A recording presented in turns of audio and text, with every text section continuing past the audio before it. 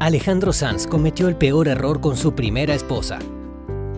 La aventura que tuvo fuera de su relación se salió de control. En 1999, Alejandro Sanz se casó con la modelo Jaidi Michel, hasta que una verdad salió a la luz en voz del propio cantante.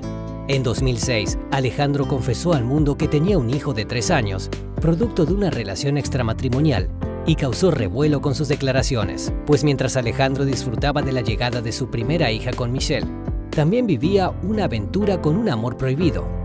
Una diseñadora puertorriqueña que se acercó a Sanz sin saber que él era casado.